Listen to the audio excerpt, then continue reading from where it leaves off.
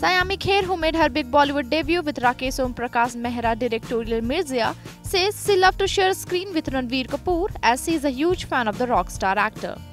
The actress was present at an event on Saturday and here on been asked if she would love to work with Khans of Bollywood. To that, watch how she reacted. I'm a big, big fan of Ranbir. I think uh, he's uh, very talented. So if I get a chance to work with him, or uh, I've said this a lot of times, Amit Ji is somebody I love watching. So work with Amit Ji. The film also marked the debut of Anil Kapoor's son, Harshvardhan Kapoor.